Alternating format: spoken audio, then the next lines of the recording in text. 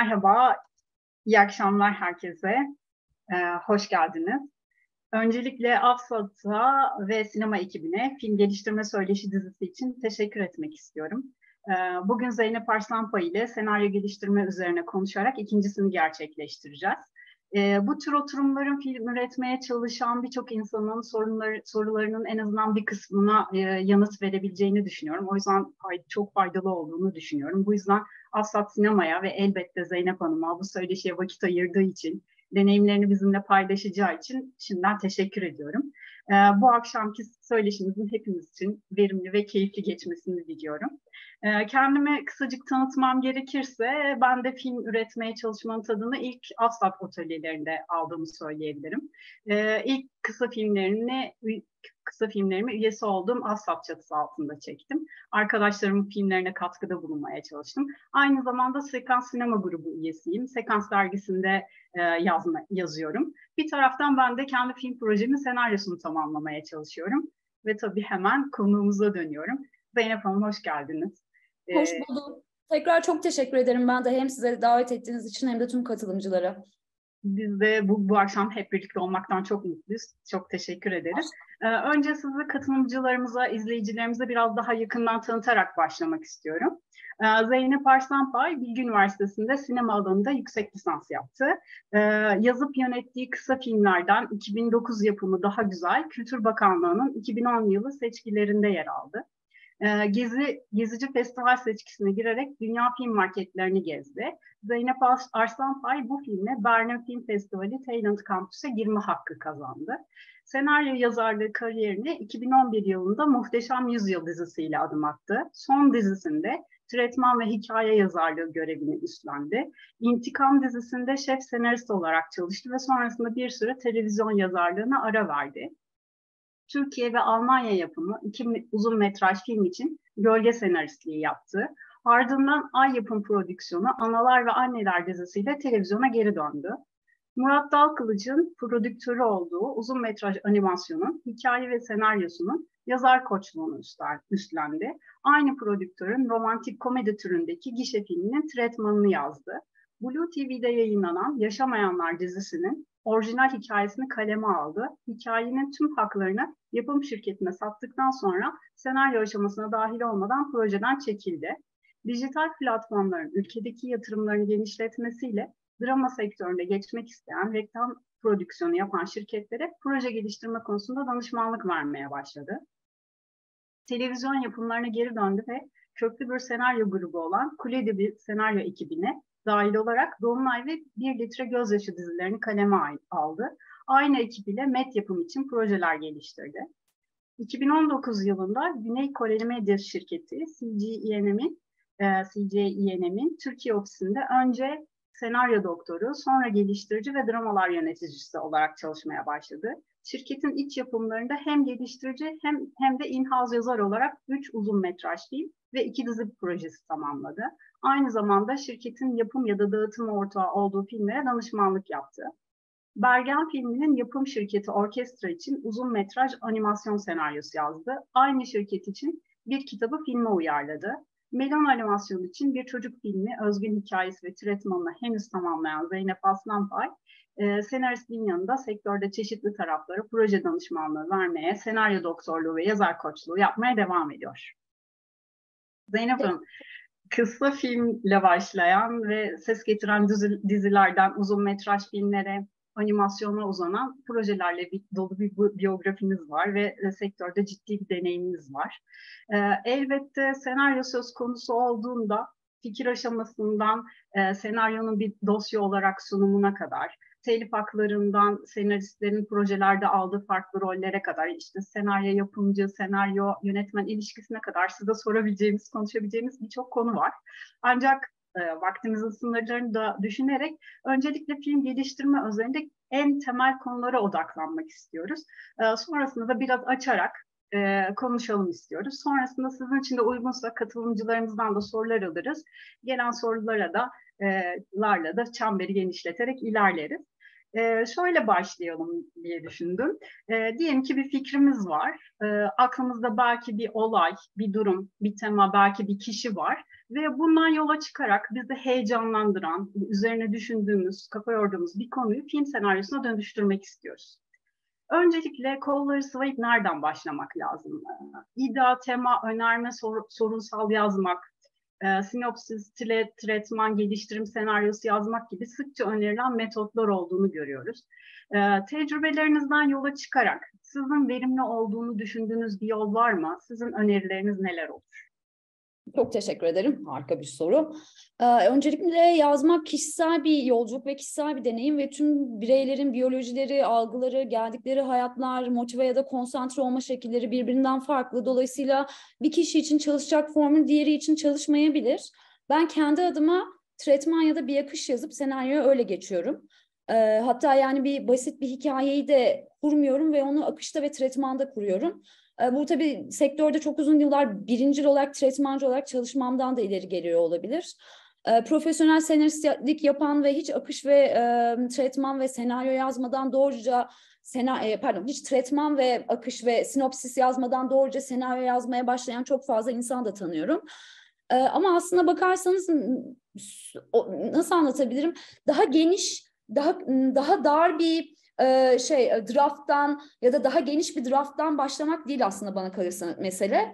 E, mesele aslında e, yazacak ilk başta yazacak veriyi ve malı amiyane olacak ama malı birazcık biriktirmekte ve o da benim açımdan her zaman karakterden başlıyor. Ana karakter de olabilir, yan karakter de olabilir ama aslına bakarsanız en başta tanıdığınız, iyi tanıdığınız karakterlerinizin olması gerekiyor elinizde. Yani dolayısıyla bu, bu hiç olmadan mesela yani çok iyi tanıdığınız karakterler olmadan e, bir yazıya başlamak yani işte bir hikayeye ya da işte bir tretmana ya da bir senaryoya başlamak bence çok akıllıca değil. E, ve yani nasıl yaparız mesela karakterleri nasıl tanırız diye sorarsanız eğer e, ana karakterinizin ya da yan karakterlerinizin iç ve dış çatışmalarını, bu çatışmalardan, dertlerden doğan e, duygu, yeni çatışma ve motivasyonlarını, bunlara neden olan geçmiş hikayelerini, karakter özelliklerini, hangi durumlara nasıl tepkiler verdiklerini iyice kurmalısınız. Karakterinizi yeteri kadar tanımalısınız. Karakterin iç çatışmaları, duygular, bu, çat bu duygular, çatışmalar nedeniyle takip edeceği hedeflerini iyi bilmelisiniz ki e, takip edecek bir hikayeniz de olmalı.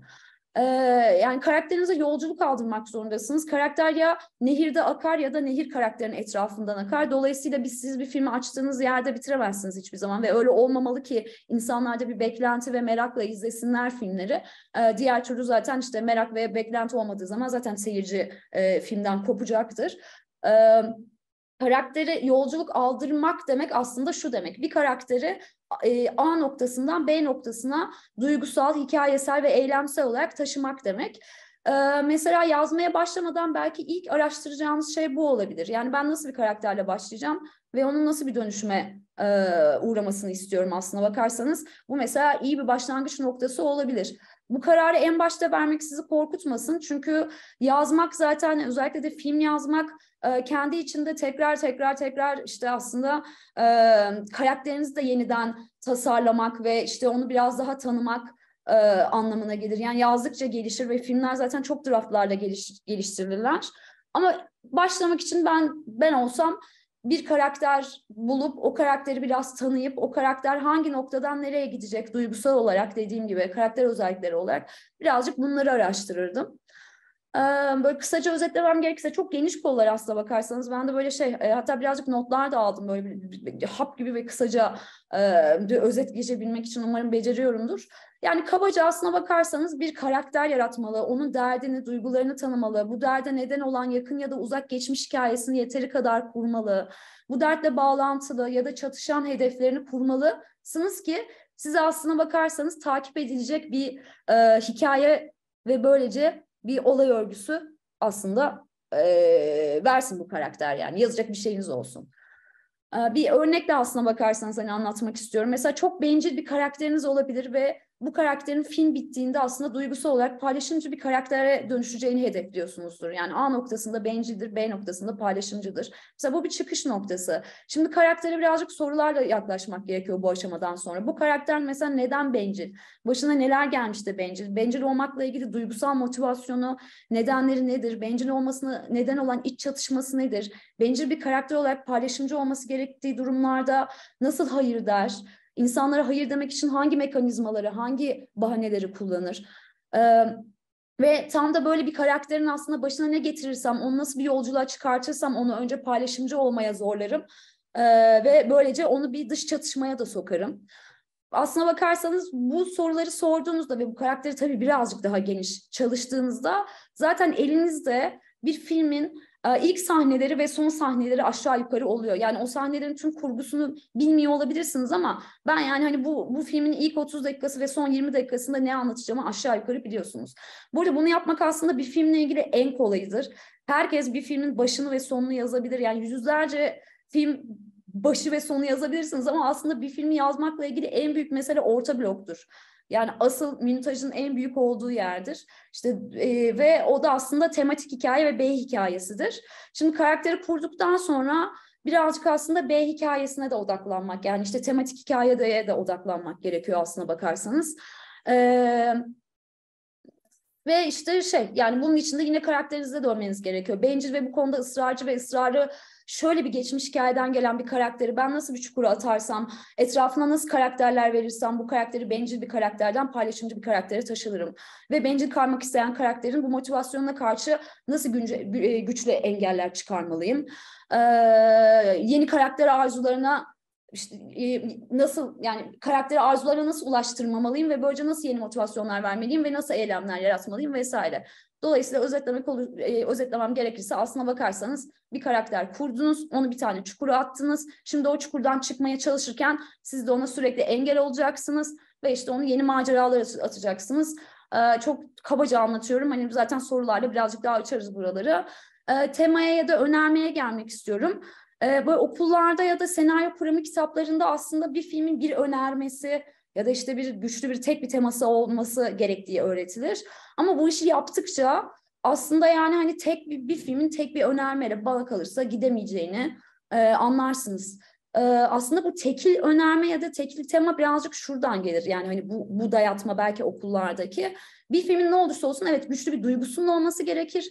O duygu aslında bakarsanız o sorunsal size yolda ışık tutacaktır. Yani siz filmin yazarken bir yerde tıkandığınızda ya benim asıl anlatmak istediğim duygu ve asıl anlatmak istediğim tema neydi deyip aslına bakarsanız tekrar bir omurgaya oturtursunuz yapıyı. Bu anlamda temaya da önerme de evet önemli. Ama şöyle söyleyeyim ya en baştan mesela filme böyle çok güçlü bir önerme cümlesi koyacağım diye kendinizi yormayın. O geliştirdikçe çıkar zaten. Ama güçlü bir duygu, insanlarda özdeşlik kuracak, e, insanları ana karakterinize ya da en azından yan karakterlerinize ya da hikayeye ya da çatışmalara güçlü bir şekilde bağlayacak bir duygu bulmak gerekiyor. Birazcık bu, ben senaryo işi e, ya senaryo yazarı olmak aslında tam bir yazarlık değil ama onu bence yazarlık yapan şey aslında o duyguyu bulmak aslına bakarsanız. Ve o duygu zaten size o ilham perilerini verir. Yani siz böyle güçlü bir duygu anlatmak istediğiniz bir duygu bulursunuz ama o da yazarken olur zaten yani.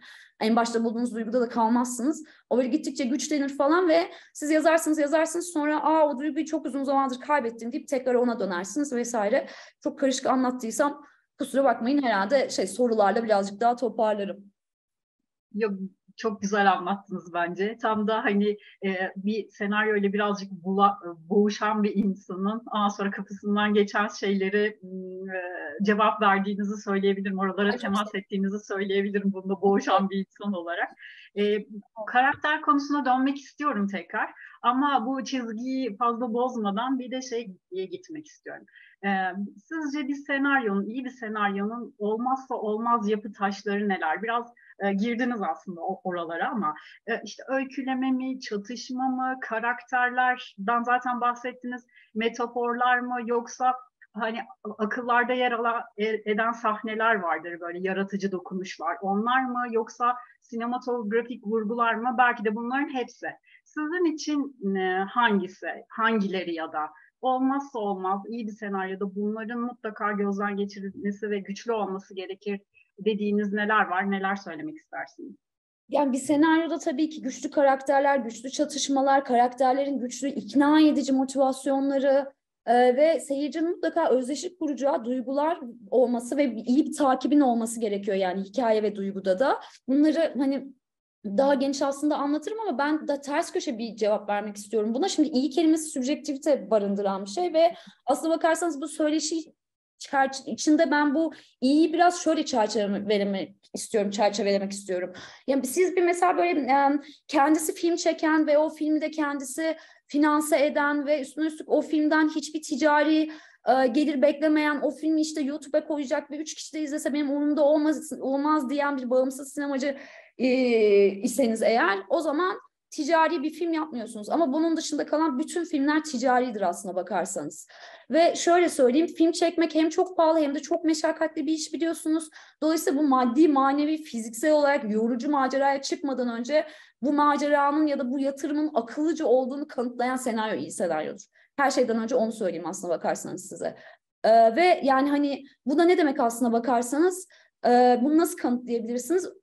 E, doğru yani kendinize öncelikle bir seyirci kitlesi tanımlamanız gerekiyor aslına bakarsanız. Yani ben bunu bir e, işte festival filmi mi yapıyorum, e, gişe filmi mi yapıyorum, belki gişeye yazıyorum ama sonra işte dijitale de satabilirim diyor, mi diyorsunuz. Seyirciniz kim? Seyirci kitlesini tanıyan, bilen ve ona yönelik yazılan ya da doğru seyirciye pazarlanmaya çalışılan senaryolar aslında iyi senaryolardır. Ya iyi bu anlamda yani çünkü çok ticari bir iş bu. Bu yüzden aslında ben iyiyi her şeyden önce buraya koyuyorum. Bunu neden söylediğim bir örnekle açıklamak istiyorum. Ben işte Türkiye'nin çok büyük e, şey gişe dağıtımı yapan ve prodüksiyon yatırımları yapan bir firmasında yönetici olarak çalışıyordum ve e, yani orada 3000'e yakın falan uzun metraj senaryosu okudum.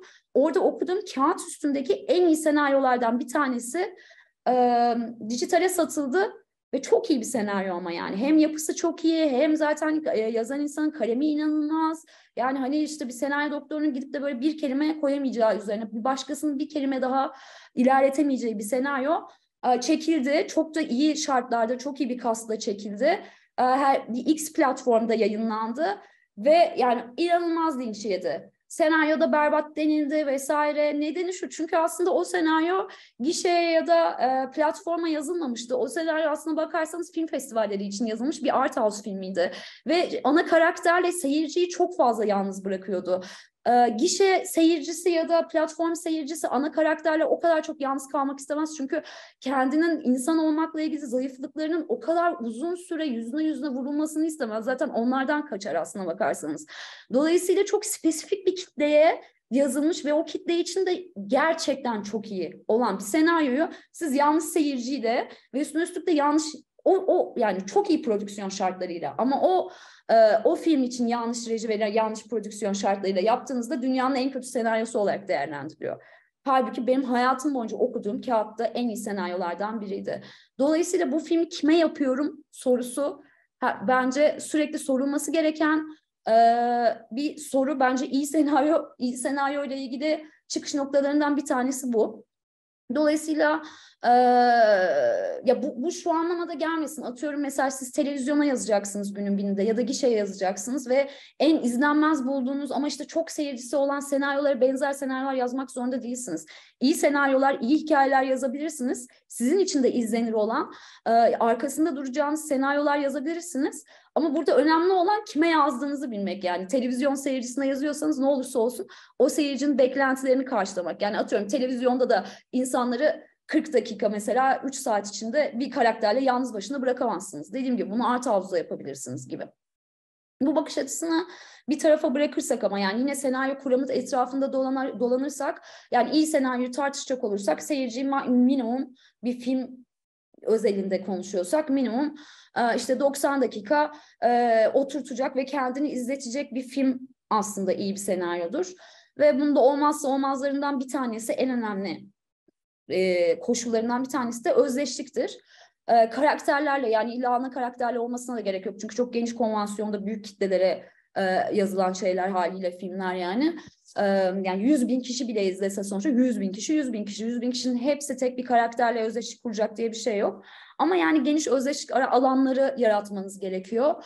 E, karakterlerinizin yani seyircinin kazanmasını ya da kaybetmesini önemseyeceği karakterler yaratmanız gerekiyor. Bunun için de işte tekrar başa döneceğim aslına bakarsanız. Karakterinize güçlü bir çatışma, o çatışmayı güçlendirecek yeteri kadar bir geçmiş hikaye, güçlü motivasyonlar, ikna edici duygular, motivasyonlar ve çatışmalar vermeniz gerekiyor. İyi senaryonun kuramsal olarak en önemli yapı taşlarından bir tanesi budur.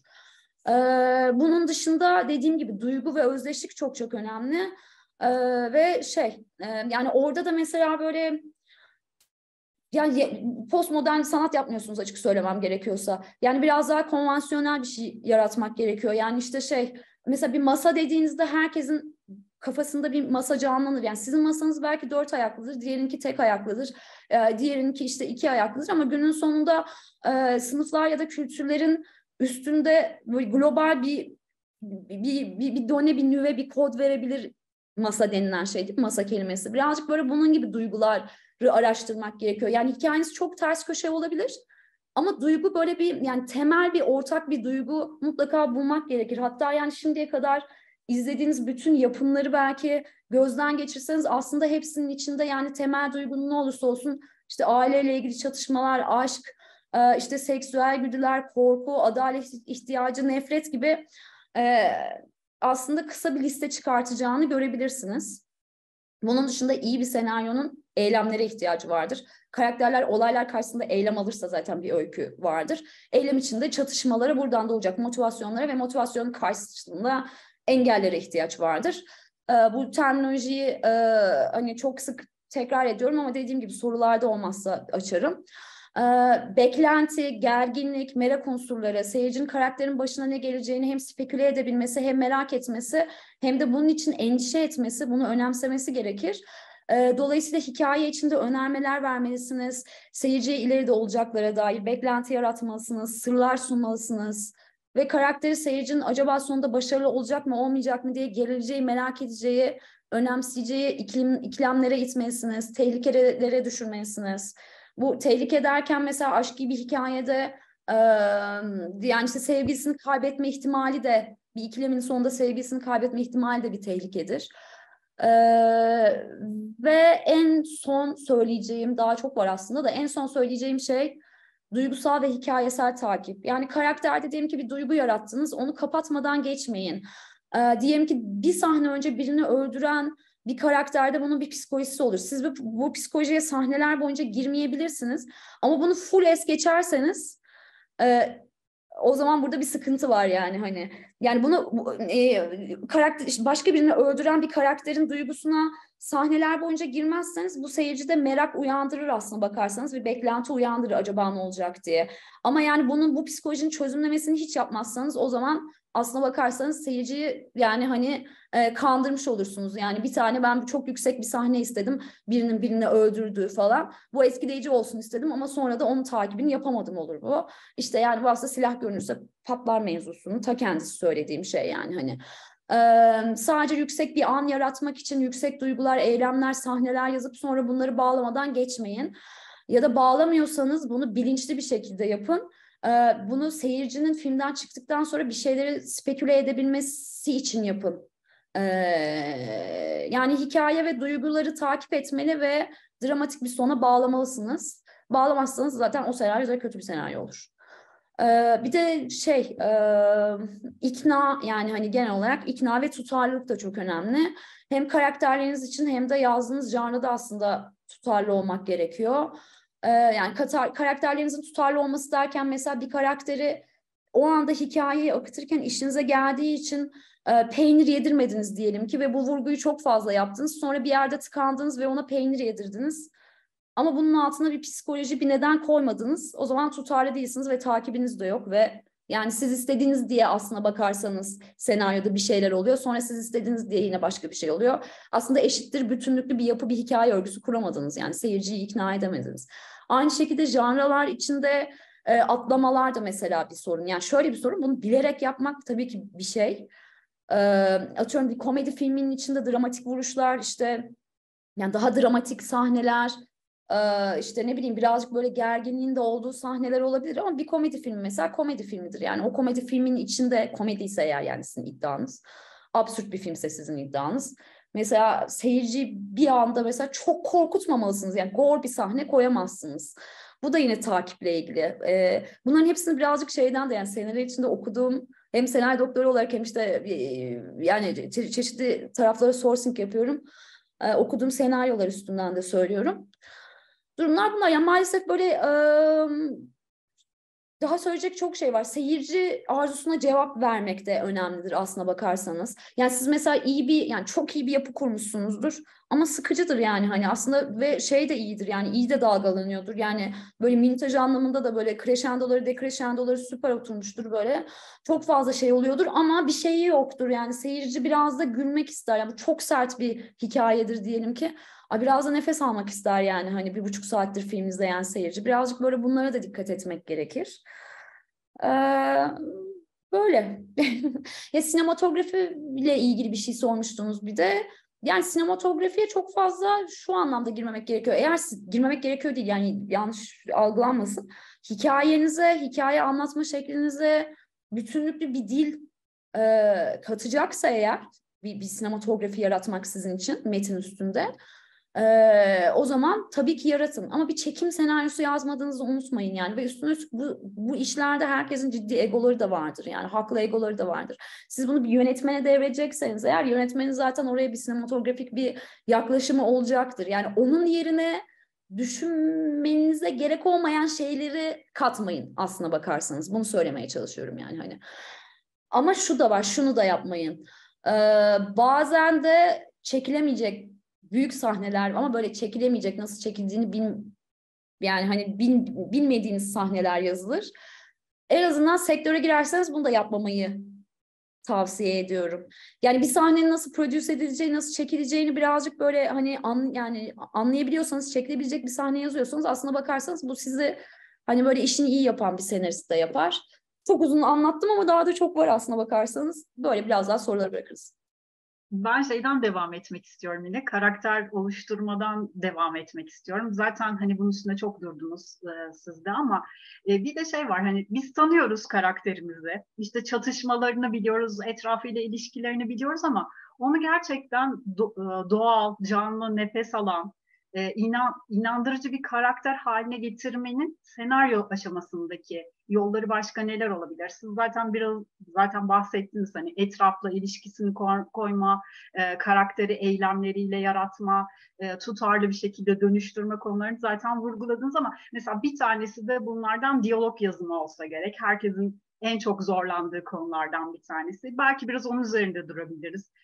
Diyalog yazımında nelere dikkat etmek gerekir ya da gerçekten yani başka yolları da var mı? Nefes alan bir karakter yaratabilmenin. Yani karakterin birincisi aslında doğal olması her zaman doğal bir karakter yazmak zorunda değilsiniz. Siz gerçekçi sinema peşinde değilseniz atıyorum mesela bir Wes Anderson filminde doğal karakterler olduğunu söyleyemeyiz. Ama hikayenin doğası içinde ve o dünya içinde doğallar aslında bakarsanız. Dolayısıyla e, yine karakterle ilgili bir şey söyleyecek bir alan e, yaratmış oldunuz bana. E, karakterlerin doğal, özdeşlik kurulabilir olabilmesi için aslına bakarsanız birazcık e, var oldukları evrenden de beslenmeleri ve yine o evreni de beslemeleri de gerekir. Yani her zaman böyle şöyle bir şeyiniz olmasın e, derdiniz ya da çekinceniz. Yani bu karakter gerçekçi yani gerçek hayattaki bir gerçekçi bir karaktere benzemiyor. Benzemeyebilir sorun yok yani bütün karakterler gerçek hayattan alınsaydı zaten drama denilen şey olmazdı. Bu kadar harika e, filmler farklı farklı canlılarda farklı farklı filmler izleyemezdik yani karakterin bence doğal olması için yine aynı şeyi söyleyeceğim. Karakteri yeteri kadar kurmanız gerekiyor. Mesela ana karakteriniz, ya bir komedi filmi yapıyorsanız yeteri kadarı da biraz daha açmak istiyorum. Bir komedi filmi yapıyorsanız mesela ana karakterinizi böyle çok dramatik, böyle de, delice şiddet dolu bir geçmiş hikaye yazmanıza gerek yok. Ya da bunu yazabilirsiniz. Karakterin psikolojisinin buradan geldiğini bilirsiniz.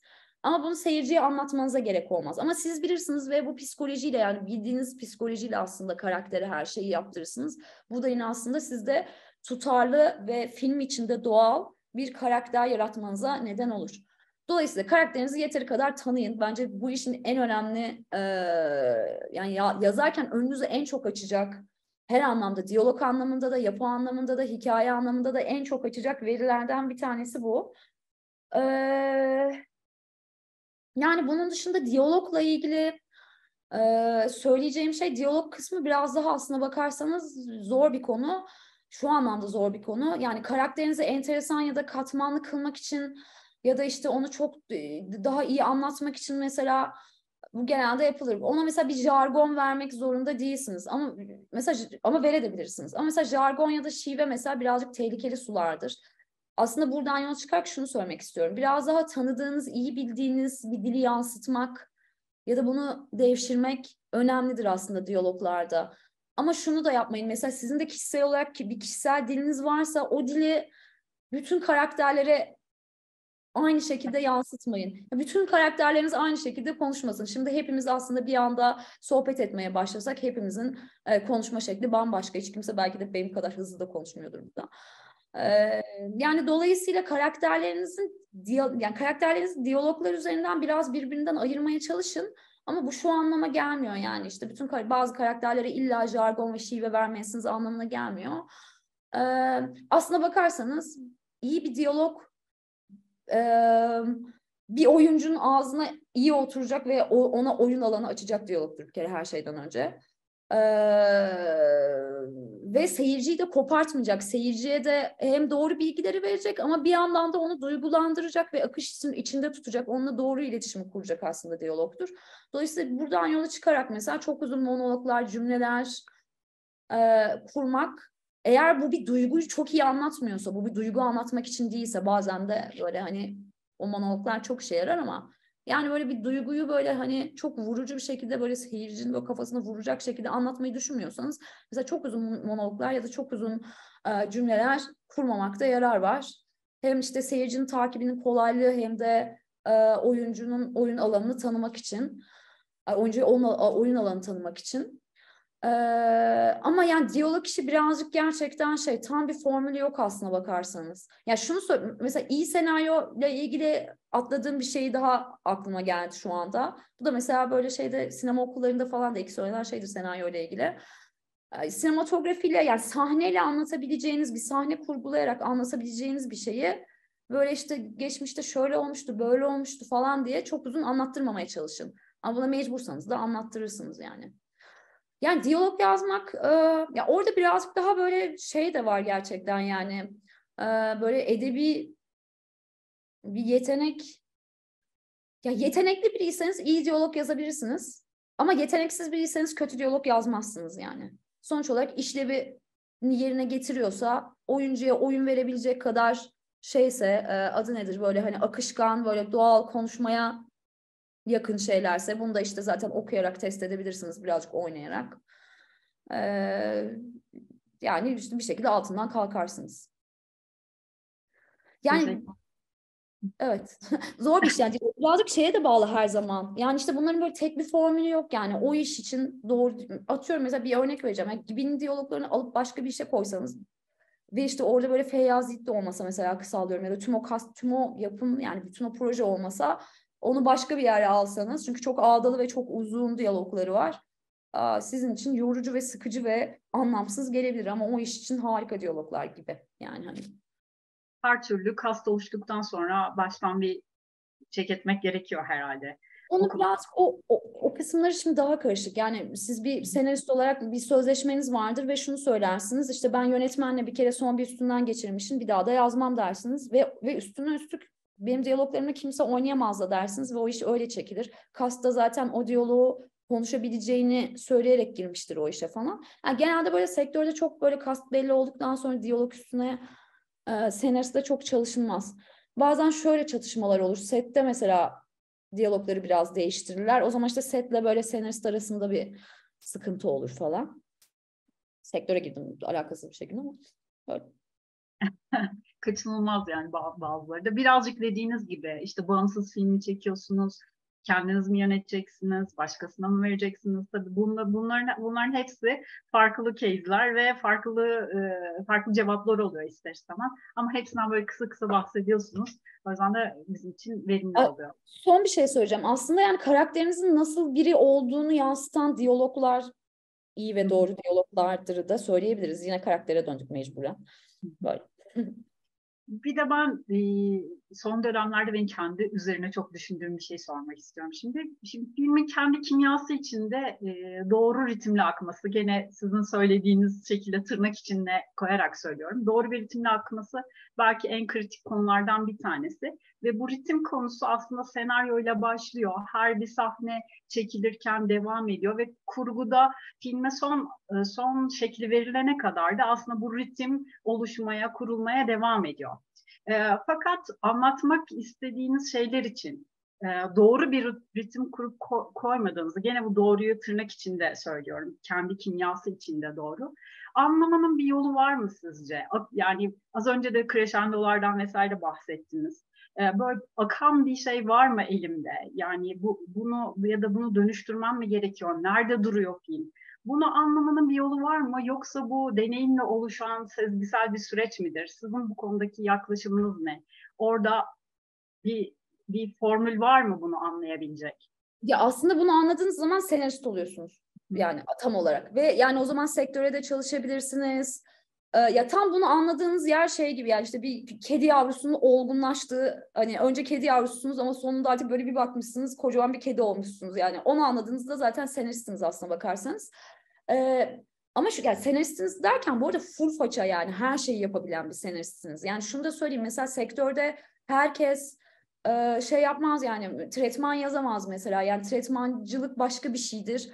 Ama yani çok iyi bir mesela bildiğiniz, tanıdığınız, ismen bildiğiniz çok iyi senaristlerin bir kısmının mutlaka tretmancısı var yani. Hani o yapıyı kuran yani bunu nasıl akıtayım? Tamam biz bir hikaye kurduk beraberce şimdi ama bu hikayeyi nasıl anlatacağım? Nasıl sahneleri dizeceğim arda arda falan. Ya bunun bu, bu, bunu, bu böyle herkesin yapabileceği bir şey de değil aslına bakarsanız. Siz bunu yapamıyorsunuz diye bir senarist de olmuyorsunuz ama senaryonun biraz daha hikaye ve diyalog kısmıyla ilgilenen kişi oluyorsunuz. Ama yani bunu da yapabildiğinizde zaten full hoca böyle bir şey gibi yani süper kahraman gibi bir hani bir senarist oluyorsunuz ve şunu söyleyeyim zaten yani atıyorum bir dizi projesinin böyle ana fikrinden son çekim senaryosuna kadar her şeyi kendi başına yazacak bir e, şeyde ne deri donanımda bir insan oluyorsunuz. Dolayısıyla bunu yapamayabilirsiniz. Bunu yapamamak sizi kötü bir senarist yapmaz. Sadece bununla ilgili birazcık böyle e, ne denir destek almanıza neden olur. Burada zaten tam böyle senaryo doktorları falan da birazcık hani bu işe yarar ya da bir tretman yazarı. Ee, ama yani hani bunu mesela yani nereden başlamak gerekiyor? Bunu anlamaya nasıl başlamak gerekiyor? aslında normalde yazmanız gerekiyor. Yaz, siz yazdıktan sonra birinin okuması gerekiyor. Size feedback vermesi gerekiyor. Neden çalıştığını, neden çalışmadığını anlatması gerekiyor. Ancak bu şekilde öğrenilir. Ben de bu şekilde öğrendim yani. Benim çok iyi bir senaryo hocam olmasına rağmen Bilgi Üniversitesi'nde. Ee, ama yani hani bu yapı kurmayı vesaireyi sektörde işte yani yazıp görerek seyircide de karşılığını görerek öğrendim. Ama kendi başınıza nasıl öğrenirseniz derseniz birazcık senaryo kuramı bilmek, Biraz montajla ilgilenmek mesela. Bunlar böyle zaten kafanızı açacaktır. Bir de ben olsam şunu yapardım. Yani filmleri bayağı böyle akışlarını e, çözmeye çalışarak aslında bakarsanız izleyebilirsiniz. Yani bayağı oturup böyle öğrenci gibi bir filmin karşısına birinci sahnede şu olmuş, ikinci sahnede şu olmuş, üçüncü sahnede bu olmuş. E, bunu şey yapabilirsiniz, notlayabilirsiniz ya da bu arada yani senaryolarda hani open source bir sürü e, senaryo bulabileceğiniz yer var yani. Senaryoların kendisinden de bunu yapabilirsiniz. Buna bir breakdown yapmak denilebilir aslında. Yani sahne sahne yazın ve şunu anlamaya çalışın. Hikayeyi nasıl anlatmışlar yani hangi montajda e, ne yapmışlar, hangi montajda yükseltmiş, o, o kadar mesela geldikten sonra sonra nasıl düşürmüş, düşürdükten sonra sonra ne zaman tekrar yükseltmiş vesaire. Ama yani yapı işi gerçekten deneyimle ve birazcık şey sektör içi deneyimle ve biraz seyirci etkileşimiyle de alakalı.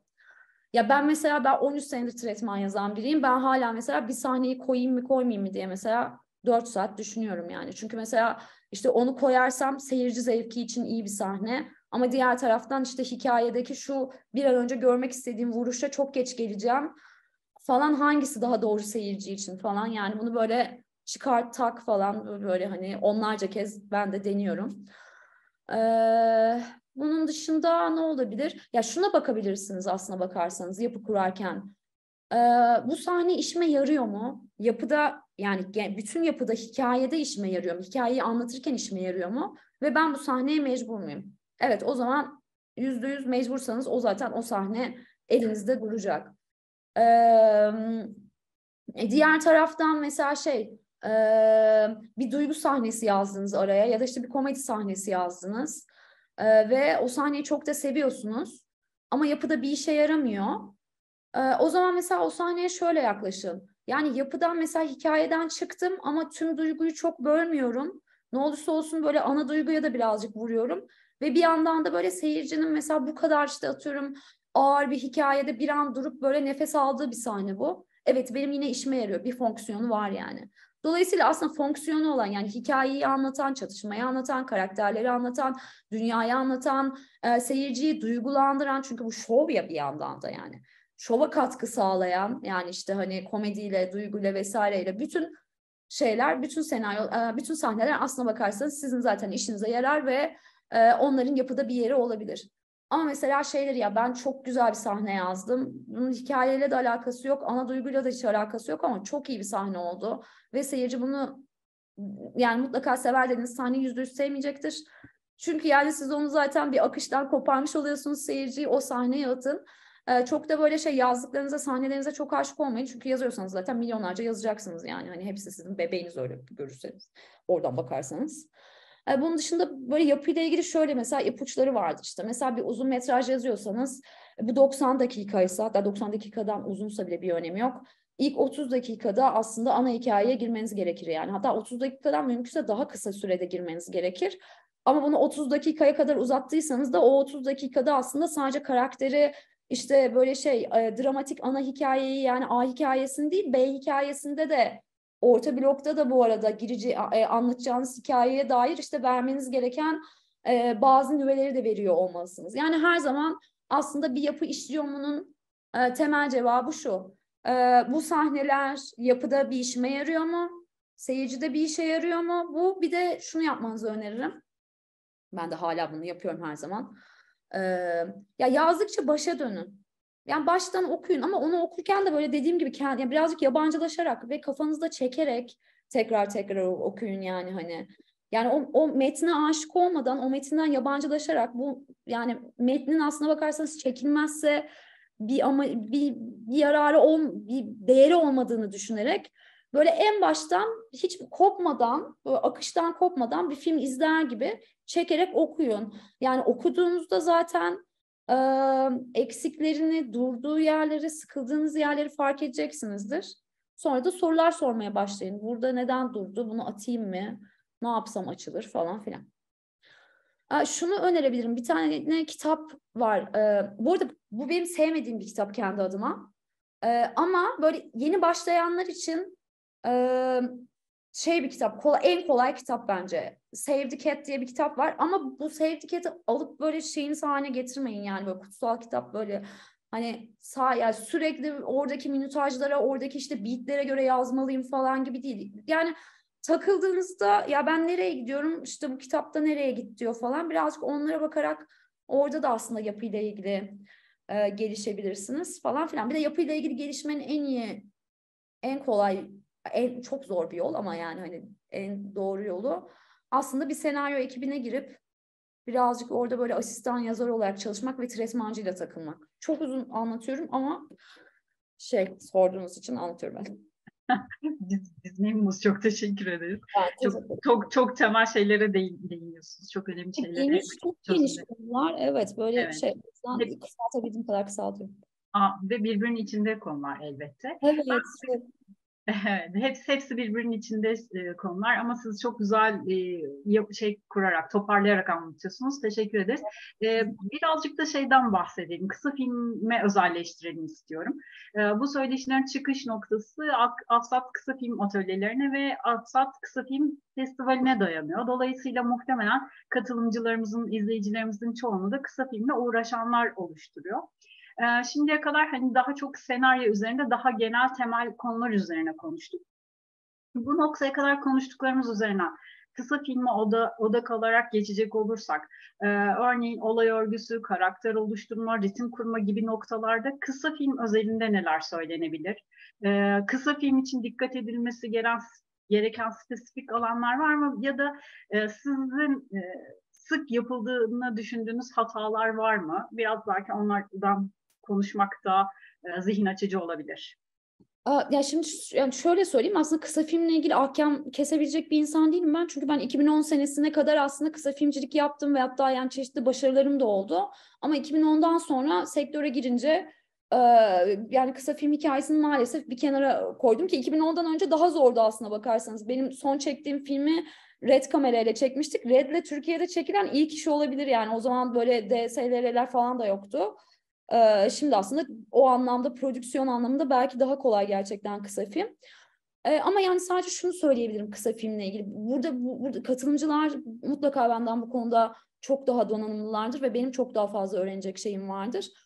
Yani kısa filmin ama yani hani uzun metrajdan farkı nedir aslında? Aciliyetidir yani. Dolayısıyla aslında anlatacak daha az alanınız var. İşte karaktere dair, motivasyon, çatışma, engellere dair, hikayeye dair kısa bir süreniz var. Dolayısıyla aslına bakarsanız burada seçeceğiniz karakterler ya da yani karakterler mesela karakterden çok biraz daha tip aslına bakarsanız bir kısa filmde. Yani biraz daha böyle biraz daha e, sığ hikayeleri olan yani sığ derken anlam anlamında sığ değil ama ama şey yani hani derinlik böyle boyut anlamında biraz daha dar hikayeleri olan yani çatışmalarının nedenleri dar hikayelere, iç çatışmalarının ve dış çatışmalarının nedenleri dar hikayelere dayanan karakterler ve böyle hikayeler kurmak gerekiyor bence bana kalırsa.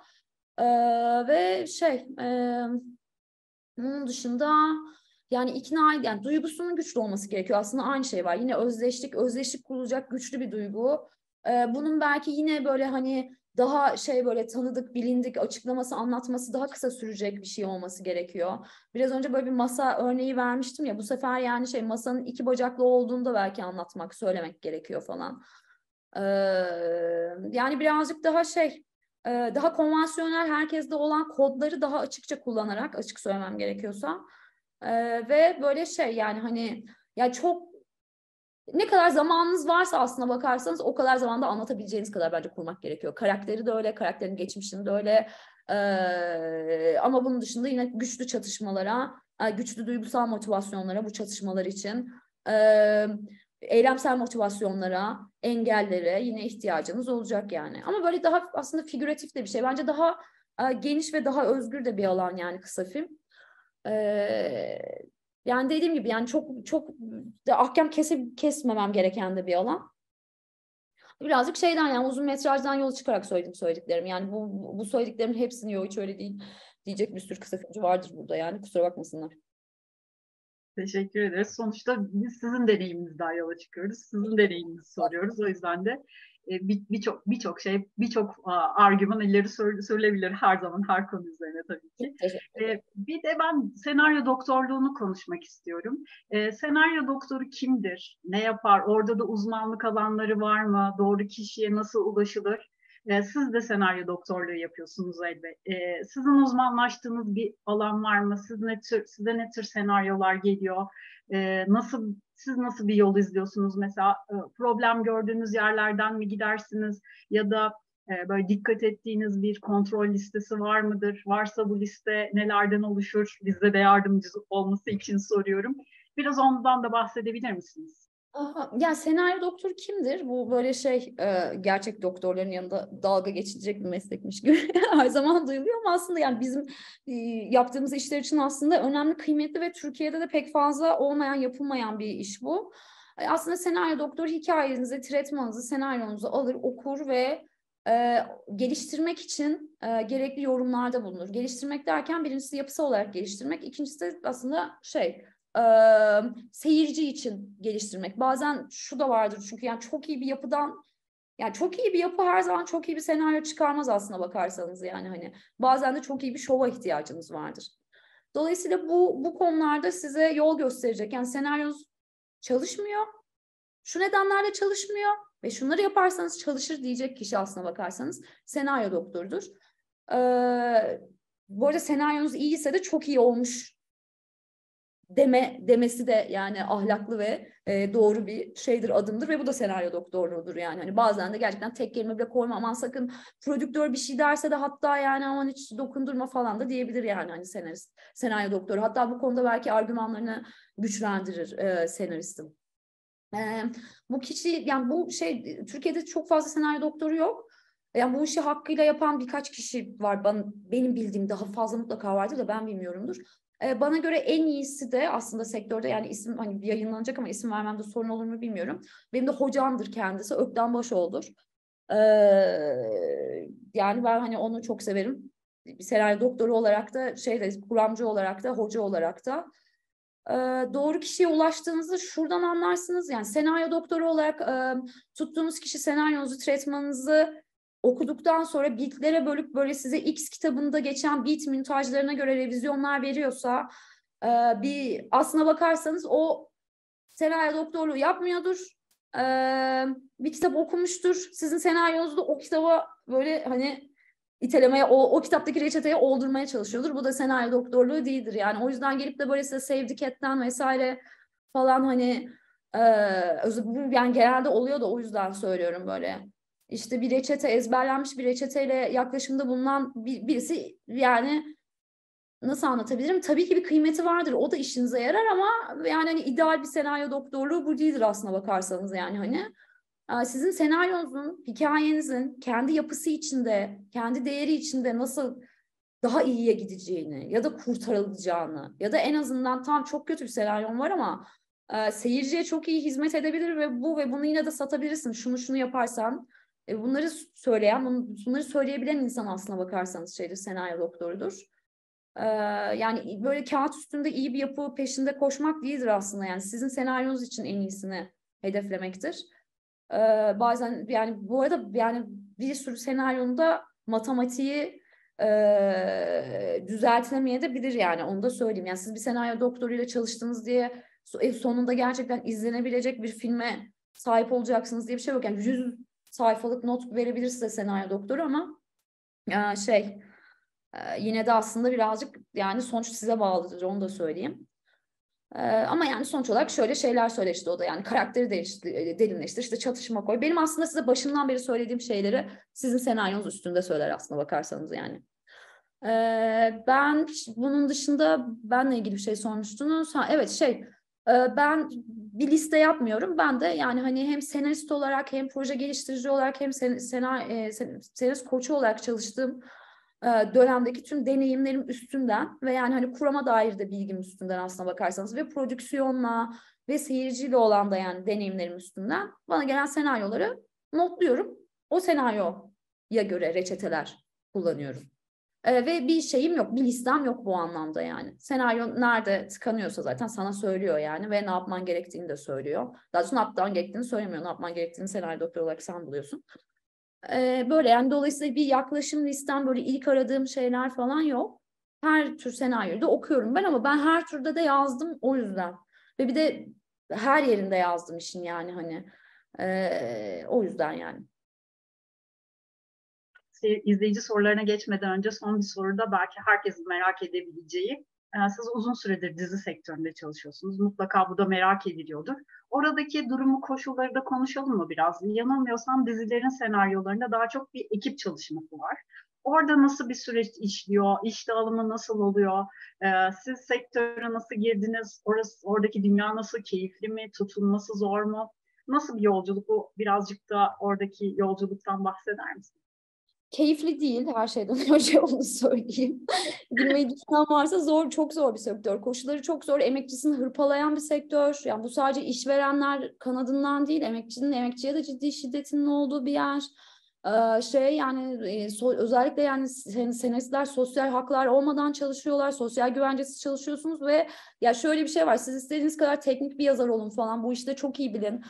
Ee, ya bana kalırsa mesela ne kadar e, yetenekli olduğunuzdansa yani işinizle ilgili kendinize ne kadar e, yatırım yaptığınız, işinizi ne kadar bildiğiniz, neyi neden yazdığınızı bildiğiniz, yazdıklarınıza dair cevaplarınızın olması falan işte böyle hani bunlar daha önemli şeyler. Çünkü herkes yetenekli olmayabilir ama yani her yetenekli olmayan sonuçta para mı kazanamayacak yani sektörde. Ee, ama yani siz siz hem yetenekli olun hem teknik olarak kendinizi çok geliştirmiş olun sizin mutlaka yani eninde sonunda karşınıza 10 sene sonra bile birisi gelip ben bunu beğenmedim diyebilir bu arada beğenmedim derler normaldir ama neden diye sorduğunuzda bence işte çünkü bence işte ne bileyim şey değil falan. Bence mesela diyaloglar kötü. Ama ben diyalogları senin için yazmıyorum bu arada. Seyirci için yazıyorum falan. Bu arada sence diyaloglar neden kötü? Mesela onu söyleyemiyor. Nasıl iyi yapabilirim? Bunu söyleyemiyor falan. Yani böyle ve ve işi kaybediyorsunuz. Ne bileyim işte paranızı alamıyorsunuz falan. Yani bunlar böyle sık olur. Yani kolay bir sektör değil. Ee, çok böyle ciddi hani güçlü tekerlerin de olduğu her anlamda bir sektör. Ama diğer taraftan bazen de çok da güzel yani. Hani aslında iyi bir ekibe düştüyseniz işte ne bileyim o diziniz iyi gidiyorsa falan e, çok iyi dramacılar da var sektörde bu arada. Herkes kötü değil yani hem prodüksiyon kısmında hem beraber yazdığınız insanlar da. Ya dramayı seviyorsanız o anlamda çok beslenip mutlu olacağınız insanlarla da karşılaşabilirsiniz ama yani bir kere mutluysanız üç kere mutsuz olabiliyorsunuz açık söyleyeyim. Parasal olarak da kolay bir şey değil. E, açık söylemem gerekiyorsa kendinizi zaten finanse edebiliyorsanız girin bu sektöre. Bir de artık bu sektöre girmeye gerek var mı? Yani hani e, onda çok bilmiyorum çünkü şey yani zaten aslında hani kurmacanın gittiği yer de enteresan. Sonuçta kendi medyanızı açabiliyorsunuz. Orada da bir sürü şey yapabilirsiniz falan. Oradan güçlenip buraya geçebilirsiniz falan filan. Ee, şey sektörle ilgili herkes gibi çok dolu olduğum için önce bunu buradan başladım. Ee, bunun dışında ben sektöre nasıl girdim? Ee, benim çok yakın bir arkadaşım hala da yazıyor bu arada o da. Muhteşem Yüzyıl'ın üç yazarından biriydi. O askere giderken beni önerdi. Ben de ama zaten hani senarist olarak kalifiyeydim ama yani sonuçta bir televizyon yazarı olarak kalifiye değildim ama beni aldıklarında becerebildim. Ee, o şekilde girdim sektöre. O zaman mesela Muhteşem'de çalışmak tabii ki çok keyifliydi. O keyifliydi çünkü şu yüzden işte metrobüse biniyordum mesela Meral ablanın evine gitmeye. Ee, herkes Muhteşem Yüzyıl'dan bahsediyordu ve ne ne olacağını soruyordu falan. Siz de yani üç, bundan sonraki sezonlarda ne olacağını bile biliyordunuz falan. Orada böyle bir şey böyle bir tatlı diyeyim bir tanrı kompleksi geliyor insana yani hani söylemek istiyorsunuz falan tabii ki söyleyemezsiniz. Bu arada gizlilik en önemli şeydir sektörde. Bunun dışında şey e, ekiplerden ekipleri sordunuz nasıl yazılıyor diye. Yani siz bu şeye bağlı. Mesela siz işte tretman da yazabiliyorsanız, hikaye de kurabiliyorsanız, diyalog da yazabiliyorsanız bir dizi ve üstüne üstlük e, haftanın 6 günü günde 20 saatte çalışabiliyorsanız bir diziyi kendi başınıza yazabilirsiniz. Bunu yapan insan var ama az var yani. Ee, ama yani mesela siz diyelim ki çok iyi bir hikayecisiniz ve şefisiniz. Bu arada hikaye de sizin, telif de aslında ana telif de size ait. Çok iyi bir hikayecisiniz, çok iyi diyalog yazarısınız ama akışı tretmanı kendiniz yazamıyorsunuz. O zaman bir tretmancı alırsınız. E, yani hikayede daralacağınızı biliyorsunuz. O zaman bir hikayeci alırsınız. Ee, işte şey asistan yazar alırsınız falan. Yani hani ekiple de olur, kendi başınıza da olur. Sadece şunu söyleyeyim. Mesela genelde böyle yalnız gözüken böyle kocaman isimlerle yalnız gözüken hep herkes için söylemiyorum bunu ama insanların bir kısmı diyeyim mesela sektörde yalnız yazmazlar aslında. Bir sürü ghostwriter'ları vardır onu da söyleyeyim yani hani. Yani siz bir kişi görürsünüz ve onun arkasında altı kişi daha vardır. Ve o insancağızların jenerikte isimleri yoktur ve hiçbir zaman telifleri ödenmeyecektir falan. Ben de çok kereler bunu yaşadım. Bir sürü insan yaşıyor. Durumlar bunlar yani. Yalnız da yazabilirsiniz. Bir ekiple de yazabilirsiniz. Ekibin içinde en güçlü e, şeyiniz neyse, e, tarafınız neyse onunla yer alırsınız. Yani hikayeciyseniz hikayecisinizdir, tretmancıysanız tretmancısınızdır, diyalogcuysanız diyalogcusunuzdur. Böyle. Peki, teşekkürler. Bu noktada sanırım e, katılımcılarımızdan soru almak iyi olabilir. E, bakıyorum bir taraftan da bir soru yazılmış mı ya da el kaldıran var mı diye. Var mı acaba katılımcılarımızın soruları?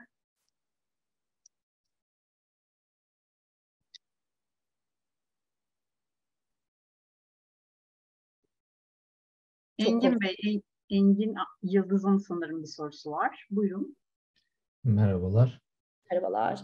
Ee, benim aslında hani bu konuşmaların e, hepsinde e, aklıma takılan 3-4 soru oldu. Yani 3-4 soruluk vakit var mı bilmiyorum da.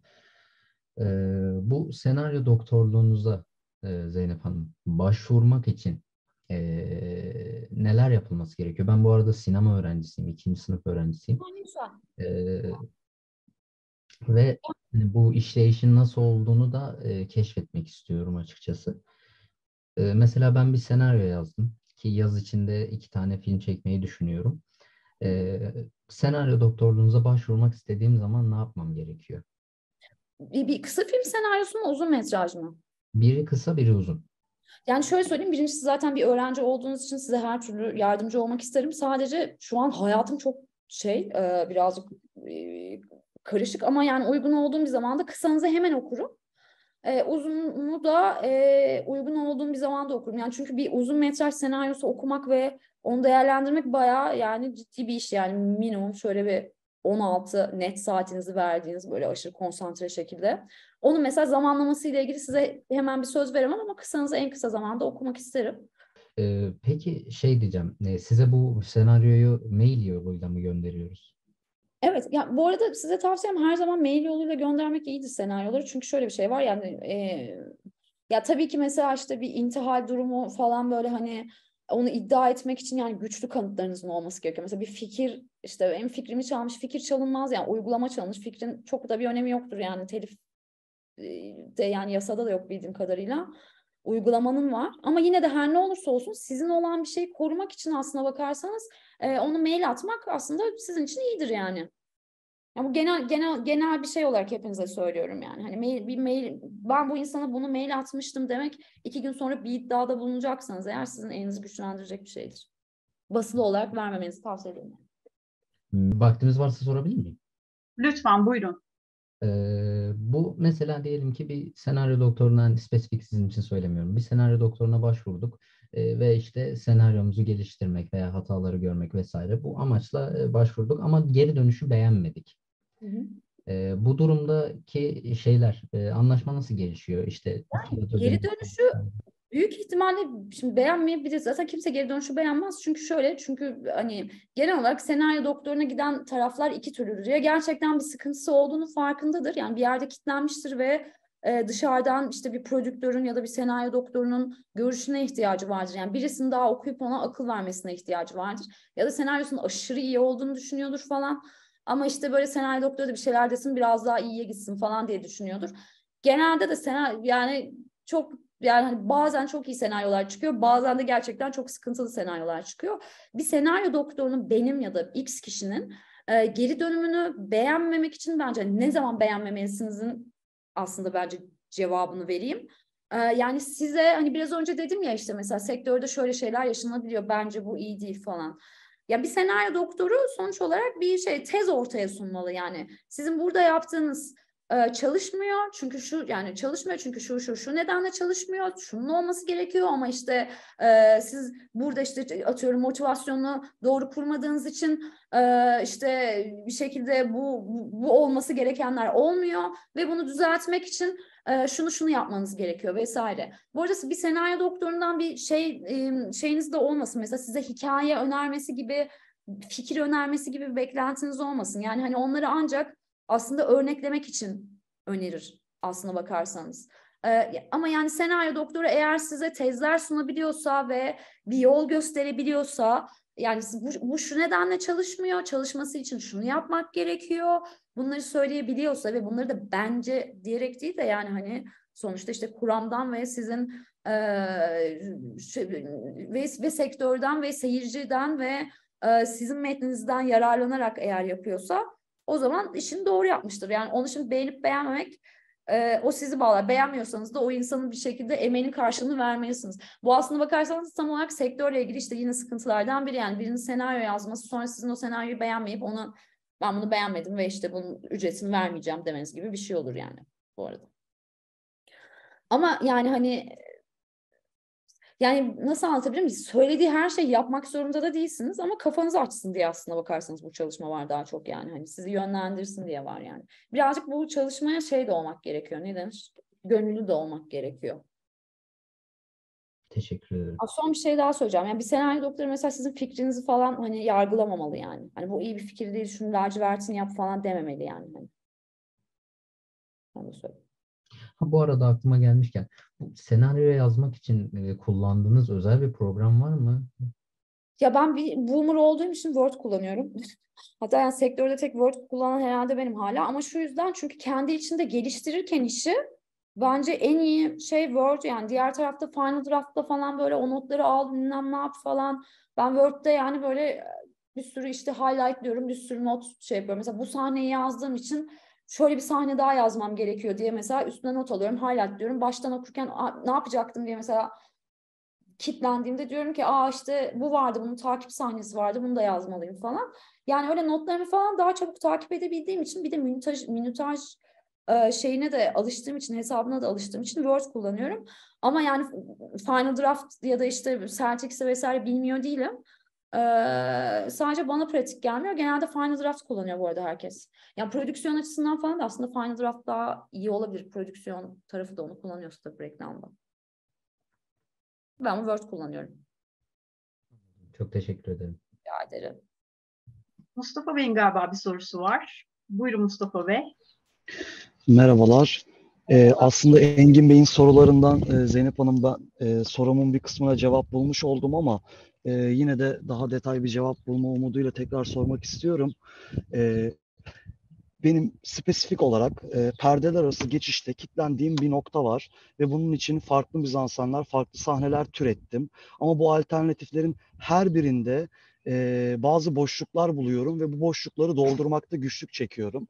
E, bu alternatifler mesela senaryo doktoruyla spesifik olarak ben burada tıkanıyorum çünkü şu sahnede şu boşluk olduğunu düşünüyorum. Bu sahnede bu boşluk olduğunu düşünüyorum. Bunlar alternatifler ama. Alternatif sahneler. Bu noktaların mizansenleri senaryo doktoruyla çalışabili çalışabilecek e, detaylar mı? Siz çünkü bir hikaye konusunda yardımcı olmaz gibi bir cümle kurdunuz. O yüzden bunu özellikle sormak istedim. İlk yani sorum sen, bu. Yani senaryo doktorunu biraz önce Engin Bey'di galiba. Ona da söylediğim gibi ama işte mesela diyelim ki onun bana verdiği beğenmedim noktasından çıkarak yani söyledim. Senaryo doktorunun amacı yani size hikaye vermek, akıl vermek değil aslında. Yani yani akıl vermek derken dediğim gibi mesela yani bunu böyle yazsan daha iyi olur. Ay bu hikayede bu karakter güzel olmamış. Bunun lacivertini yap falan değil. Gerçekten de aslında size teknik verilerle gelmesi gerekiyor e, teknik yorumlarla gelmesi gerekiyor yani hani. Dolayısıyla bu söylediğiniz çalışma da bir senaryo doktoruyla olmaz ama zaten size bir senaryo doktoru ya da bir yazar yani senelerce sonuçta bu işi yapan biri olarak söyleyeyim. Zaten oradaki sıkıntınız yani o sahnelerdeki boşluklarınız da sahneler yüzünden değil temelde bütünde yine karakterle ilgili büyük ihtimalle ve çatışmalarla ilgili ve motivasyonlarla ilgili boşluklarınızdan oluyor. Yani bir şey daha katmanız gerekiyor demek ki karakterlere. Özellikle şey demiştim ya yani bir işin illa tek teması ya da tek önermesi olmasına gerek yok. Demek ki belki hikayeye bir katman daha katmanız gerekiyor. Belki yani hani. O her ya bence totalde boşluğunuz ne onu bulmaya çalışın. Ee, ancak o zaman oturur yani hani o orası. Ya şeyi de söyleyeyim, şunu da söyleyeyim. Mesela dünyada da bir sürü aslında yapımda ve Türkiye'de de izlediğiniz birçok sahneyi de sevmeyeceksiniz. Yani dünya bütün sahnelere de böyle hani aşık olacaksınız diye bir şey yok. Kendinize de bu anlamda tüm yapınız iyiyse bir sahnenizde kötü oluversin yani hani işlevini görüyorsa bir işe yarıyorsa okey o sahnede kötü olsun sonra daha iyisini yazarsınız. Yani derdiniz böyle sadece sahneyi sevmemekse ondan birazcık uzaklaşın. Ee, bir draft sonra ya da bir ay sonra daha ya da iki gün sonra bir anda böyle hani uyandığınızda aklınıza gelen haliyle daha iyi yazarsınız yani. Ee, bir soru daha sormak isterim müsaade varsa. Teşekkür ederim bu arada cevabınız için. Ee, tavsiye edebileceğiniz, e, özellikle şuralar iyidir diyebileceğiniz pitching programları var mı acaba Zeynep Hanım? Ya aslına bakarsanız yok çünkü şöyle ben e, ya şeyin mesela Netflix aslında bir bir network'le beraber bir şeyler açıyor ama daha çok böyle pitching e, yani sonunda pitching de olan aslında bir şey açıyor. Yani şey açıyor e, bildiğim kadarıyla işte dizi projesi geliştirme işte böyle laboratuvarı gibi bir şey açıyor. Ona da insanları seçerek alıyor. Onun sonunda da galiba hem işte Türkiye'de hem Çek Cumhuriyeti'nde falan bir şeyler pitch ediyorsunuz. Bunun dışında tabii köprüde buluşmalar var aslında yani benim de bildiğim en büyük. Antalya'nın da mutlaka bu arada marketinde bir şeyler vardır diye tahmin ediyorum. Ya ben çok uzun süredir çok böyle şey yani kendim bir bağımsız sinemacı olmak ya da gibi bir şeyim olmadığı için açıkçası ne denir? E, hedefim olmadığı için çok da takip etmiyorum yani. Hani benim böyle takip ettiğim ve hedeflediğim şeyler başka şeyler açık açık söylemem gerekiyorsa. Ama şeyleri yani festivallere bakın. E, festivallerin marketlerine girmeye çalışın. Bu mesela ne bileyim Talent Campus'a girmeye çalışın mesela Berlin Film Festivali'nde. Talent Campus'a girdiğinizde mutlaka orada markete de gidersiniz ve markette zaten Bible'larınızı vereceğiniz insanlarla tanışırsınız aslına bakarsanız. Ee, bunun dışında öyle bir pitching platformu bilmiyorum. Yani festivaller, festival marketleri, köprüde buluşmalar. Ee, işte Netflix'in açtığı o işte labler dışında aklıma bir şey gelmiyor. Antalya'da da mutlaka vardır bir şey. Vardır ama ben bilmiyorum yani. Teşekkür ederim. Benim sorularım bu kadardı Zeynep Hanım. Yani bu konularda kendi yani hani benden çok daha e, şey e, deneyimli bilgi birileri mutlaka vardır. Dediğim gibi ben bağımsız sinemacı değilim yani. Hmm, ben oradan devam edeyim, bu sorudan devam edeyim. Benzer bir soruyu ben de sormak istiyordum. Ee, şey bir de destekler var tabii. En çok bildiğimiz işte Sinema Genel Müdürlüğü'nün verdiği senaryo ve diyalog yazım desteği. Bunun dışında sizin e, aklınıza gelen önerebileceğiniz e, senaryoya ilişkin destek ya da yarışmalar var mı diye soracaktım ben de. Yani dediğim gibi Netflix bir şeyler açıyor. Aslında onlara girmek şu anlamda da mantıklı. Çünkü hem geliştirici hem yazar şey yapıyor, yetiştiriyor ve Netflix'in network'üne girmek genel olarak da çok zor bir şey yani nedenlerini burada söylemeyeceğim. Ama yani böyle sıfırdan hani hoşuna giden bir yazara ve bir insana dönüşürseniz oradan önünüz hem uluslararası hem Türkiye'de aslında açık olur. Ee, onun dışında fonlarla ilgili dediğim gibi yani ben de aslında şunu biliyorum sonuçta bağımsız sinemacı arkadaşlarımdan da yani Türkiye'de Kültür Bakanlığı fonunu almalısınız ki sonra zaten yurt dışında size işte bütün kapılar açılıyor yani işte Sarajevo'ya gitmelisiniz, oraya gitmelisiniz, buraya gitmelisiniz. İşte Berlin veriyor. İşte bütün festivaller zaten bir şekilde fon veriyor. Ama yani Türkiye'de benim bildiğim başka fonlar yok. Mutlaka vardır. Yani işte kısa filmle ilgili İzmir Film Festivali vardı. Hala var mı bilmiyorum. Birazcık aslında Google amcaya bakıyor o iş yani. Hani ben benim çok bildiğim bir şey yok ama şeyden LinkedIn'den mesela hani hem festivalleri hem de Netflix falan takip ederseniz oradan güncelliyorlar yani sürekli. Teşekkürler. Şu an için soru olmadığı için ben Engin Bey'in sorusu üstünden de bir, bir soru daha sormak istiyorum. O da senaryo ile ilgili format ya da Mustafa Bey mi sormuştu?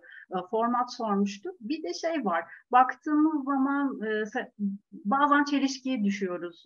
Çünkü şey senaryonun biçimsel sunumu özellikle paylaşmaya başladığınız andan itibaren önemli oluyor. Hem ekibin diğer taraflarıyla paylaşmanız açısından ya da bunu başkalarına dosya olarak sunacaksanız e, senaryonun biçimsel sunumu önemli. O noktada da bazen kaynaklar arasında farklılıklar olduğunu görüyoruz işte detaylarda. E, orada sizin önerebileceğiniz temel bir kaynak var mı? Yani ben de şuna bakıyorum doğrusu için, doğru formatı bulmak için diyeceğiniz bir şey var mı? Yani Fransızca, Amerikan'da yazabilirsiniz. İkisi de doğrudur. Ee, ve şey adı nedir? Ee, Amerikan yazmanın şöyle bir yararı var. Zaten genelde şeylerde e, senaryo programları da aslına bakarsanız Amerikan bu arada. Ve o senaryo programlarıyla çalışmak bu arada şu, benim gibi yapmayıp Word'de değil onlarla çalışmak şu yönden iyi. Ee, bu arada aslında yani sonuçta artık drama sadece şeyde değil yani işte platformlar ya da işte e, geleneksel medyada değil artık yani oyun sektöründe de çok ciddi işe yarıyor biliyorsunuz ve oyun sektöründe de aslında atıyorum Celtics kullanılıyor yani orada başka programlar daha kullanılıyor. Benim gibi yapmayın Word'le başlamayın bence ee, olabildiğince e, şeylerle yani hani ne denir e, senaryo programlarıyla yazmaya başlamanızı tavsiye ederim yani ileride oyun sektörüne de geçmek isterseniz diye. Onun dışında da dediğim gibi Amerikan'da yazabilirsiniz, Fransız'da yazabilirsiniz. Fransız zaten e, yani Word'de sizin kendiniz formatlamanız gerekiyor. Amerika'nın da şeyi şudur, e, yararı Amerikan'da solları oyuncu okumak zorunda, biraz daha okumak zorunda kalır. Yani şeyde Fransız'da sadece sağları okuyup solları reddedebilir. Dizide çalışan özellikle bir oyuncu yani. Ama siz solda da çok önemli bir bilgi veriyorsunuzdur mizansende. Amerikan onu okutur yani hani. Onun dışında bir önemi yok. Ya şöyle söyleyeyim hiç ne Amerikan ne şey e, adı nedir? Eee ne Fransız ve hatta dili geçmiş zamanla falan yazılan böyle kendince oluşturulmuş bir sürü senaryo formatta görüyorsunuz bu arada yani sektörde. Önemli olan aslına bakarsanız bir, bir hikaye kurup, bir yapı kurup, bir senaryo yazabilmeniz. Onu yaptıktan sonra minutajını da ayarlayabiliyorsanız istediğiniz gibi yazın aslında. Programlarda herhalde bu detaylar konusunda e, bir yardım sunuyor anladığım evet, kadarıyla. Evet. Oradan gitmekte e, bir şekilde formatı doğru oturtmak açısından yardımcı olabilir diyorsunuz. Kesinlikle bir de minutajla ilgili yani şimdi minutaj da bir, bir, bir konu yani hani o yüzden minutajı iyi anlamanız açısından da aslında programlarla gitmekte yarar var yani. Hani ne kadar ne uzunlukta olacak yazdığınız senaryo o, o konuda destek oluyor şeyler programlar. Tekrar bakıyorum başka soru var mı diye. E, lütfen e, sorunuz olduğunda el kaldırın. E, ben vakti... Buyurun Cengiz Bey, sizi gördüm hemen. Doğru söyledim değil mi? El kaldırdınız sanıyorum. Mikrofonunuzu açabilir misiniz? Pardon. Kendi kendime konuşuyorum. Hocam Netflix Network'üne girmek e, e, çok zor dediniz ve o konuya hiç girmediniz. Evet. Yani hiç tavsiye etmez misiniz yoksa e, Ederim tabii niçin etmeyeyim. Yani zor derken ne imkansız gere- ne yapmak gerekiyor yani? Ne yapmak gerekiyor? Öncelikle kendinize bir prodüktör bulmanız gerekiyor. Bu arada imkansız değil ve sizi almazlar gibi bir şey değil. Geçen sene galiba Netflix bu arada Antalya'da bir şey açtı. Hem bir tane bir workshop'u böyle uzun süren bir oturumu bile bir finanse etti, sponsor oldu. Hem de e, orada galiba birazcık yani doğruca Netflix'çilere ulaşabileceğiniz bir sistem de yarattılar. Yani hani bir en azından işte Bible'ları verebildiğiniz falan galiba yani o Bible kısmı şimdi sallıyor olabilirim. Ama şöyle bir şey var yani Netflix'e, Disney'e, e, ulusal kanallara, Eksen'e, Blue'ya her yere aslında ulaşmanın yolu aynı. O da şuradan geçiyor. Kendinize bir prodüktör bulmanız gerekiyor her şeyden önce. O prodüktöre aslına bakarsanız Bible'ınızı, e, proje dosyanızı okutup ona beğendirmeniz gerekiyor. O prodüktör okey olduktan sonra sizi Netflix'e götürüyor. Ha şöyle bir şeydir. Siz zaten hani bir şekilde Netflix'in kendi içinde e, bir şey yaratabiliyorsunuzdur. E, ne denir? Ee, insanlara ulaşabiliyorsunuzdur. Eşiniz vardır, dostunuz vardır, tanıdık birileri vardır. O zaman da projenizi okutabilirsin ama diğer türlü birazcık yani onlar bir böyle pitching deck açmadığı sürece birazcık zor. Ee, orada da şöyle oluyor aslına bakarsanız bildiğim kadarıyla. Yani bir 20 dakikalık bir ön böyle pitching toplantısı oluyor. Siz hikayenizi anlatıyorsunuz. Güçlü taraflarını bu seyirci tarafından neden izlenir, bunu neden yapalım anlatıyorsunuz. Sonra zaten beğenirlerse o zaman e, sizin şeyinizde okuyorlar senaryolarınızı. Bu arada hem bir Bible isterler hem sezon hikayesi 10 sezon yani 10 bölümü artık 8 bölümü 6 bölümü 3 bölümü ne düşünüyorsanız e, sezon hikayesini isterler hem de birinci ikinci bölümü de istiyor olabiliyorlar. Ama bunların hiçbiri sizi korkutmasın. Sizin sadece çok iyi bir e, projeniz vardır. Çok iyi bir hikayeniz vardır. Ee, ve o iyiyse aslında bir şekilde yolunu da bulur yani. Çünkü sektörün yeni senaristlere de çok ciddi ihtiyacı var yani bence. Hmm, Teşekkür ederim. Rica ederim. Ya sizi korkutmasın bu söylediğim yani hani. Tamam. imkansız diye bir şey yok. Onlar da böyle hani snob bir tavırla değil şey başka bir çalışma şekilleri var sadece o yüzden. Tam burada şey de soralım o zaman. Senaryomuz var. E, Bir, bir senaryo dosyası oluşturmak istiyoruz. O senaryo dosyasında başka nelerin olması beklenir? İşte sinopsis, tretman, belki senarist biyografisi böyle bir dosyada, senaryo dosyasında olmazsa olmazlar neler? Yani eğer bir şeyse bu bir yani film senaryosuysa ve yani bitmiş bir senaryoysa eğer elinizdeki onu verecekseniz aslında sadece şey yeter yani hani e, ne denir bir sinopsis yeter. Ama bir şeyse e, yani o sinopsisi okurlar e, ve yani onu beğenirlerse o zaman senaryoyu da okurlar. Belki o sinopsise karakterleri de ekleyebilirsiniz yani. Güçlü bir şekilde aslında genel olarak senaryoyu sattığınız bir metinle e, yani bu sinopsiste yani sonuçta bir ticari bir şeye iletişime gireceğiniz için hani böyle bir okul ödevi gibi bir sinopsis değil de gerçekten güçlü taraflarını sattığınız, işin güçlü taraflarını sattığınız bir metin olarak düşünmenizde yarar var. Ee, bunun dışında eğer bir dizi satacaksanız dizinin genel hikayesi yani hani işte genel çatışmaları ve işte şey e, karakterleri vesaire yani şuradan şuraya gidiyor gibi. Ee, sonra sezon hikayeleri yani dediğim gibi işte 3 bölüm mü, 4 bölüm mü, 6 bölüm mü, 10 bölüm mü, 8 bölüm mü, kaç bölüm varsa her bölümün hikayesi. Bunlar tabii ki bu arada yolda değişir yani hani böyle ama yine de yani şuna ikna etmeniz gerekir karşı tarafı. Yani benim bu projemden 8 bölüm hikaye çıkıyor kardeşim. Yani bir sezon çıkıyor ve hatta ikinci sezonda da şunu yapmayı düşünüyorum diye belki bir paragraf. Ee, ve aslında bunun üzerine şey de isterler. Ee, birinci hatta ikinci bölümü de istiyorlar. Ama ben olsam mesela sizin yerinizde olsam senaryolara girmek yerine ben zaten 10 bölüm hikayesi işte bölüm hikayeleri artık genel hikayemi yazdım. Ee, bunu birilerine ilk, ilk önce bunu okutmayı tercih ederim. Okuyup zaten beğenen senaryo yazacağım, senaryo yaz diyorsa sana o, o taraftan para isteyin yani sonuçta. Aslına bakarsanız böyle olmalı yani normali bu olmalı. Birazcık karşı tarafın da e, şey vermesi gerekiyor, yatırım yapması gerekiyor. Bunun dışında şunlar olur, karakterler olur bir de, karakter dosyası olur. İşte bu aslında şey uluslararası hani Bible'lar aslında normalde 11 sayfadır. 11 böyle 12 sayfadır. Çok kısa bir genel hikaye olur sadece. Bölüm hikayeleri de olmaz. Bölüm, bölüm hikayeleri ek olarak geçer. Ee, karakterler olur. Bu arada şey olur böyle stil ton sayfaları yani sinematografisi şöyle olacak işte dünyası böyle olacak dediğiniz böyle birkaç cümlelik bir şey. Ee, ondan sonra şey bir yazarın bakış açısının olduğu, prodüktörün bakış açısının olduğu şeyler de olur falan. Ee, buna da bu arada internetten ulaşabilirsiniz yani. Ya şöyle yapın YouTube'da Bible nasıl yazılır diye arayın. O zaten yurt dışında yazılan yani yurt dışında geçerli olan Bible'ları size anlatıyor. Ee, ona bir de bölüm hikayeleri eklediğinizde aslında biraz daha Türkiye'deki Bible'lara benziyor ve biz daha çok dizide diziden çok film e, kısa metraj, orta metraj ya da uzun metraj e, film üzerinden düşünüyoruz daha çok. Buradaki izleyicilerin de daha çok bu, buna yoğunlaştığını tahmin ediyorum. E, yanılıyorsam lütfen beni düzeltin. Bir or, öyle bir noktaya geldiğimiz için bu soruyu da sorayım. E, diyelim ki bir uzun metraj ya da orta metraj bir film senaryosu yazdık. Olgunlaştığını da düşünüyoruz. Burada nasıl bir yol izlemek gerekir? Önce yönetmen mi düşünmemiz gerekir yoksa direkt yapımcıların mı kapısını çalmamız gerekir? Orada e, hani doğru bir yol var mı, strateji var mı? Belki dediğiniz gibi projeye göre de değişecek bir şey bu ama e, ne yapmak lazım? Elinizdeki senaryoyu nasıl değerlendiririz? Bir de şeyi de sormak istiyorum. Az önce e, işte e, intihal konusuna da girdiniz. Burada dikkat edilmesi gereken şeyler ne olmalı? Yani herkese direkt senaryomuzu açmalı mıyız? E, kimlere açmalıyız? Ne kadarını ne zaman açmalıyız? Orada da e, önerebileceğiniz şeyleri söylerseniz çok çok faydası olur.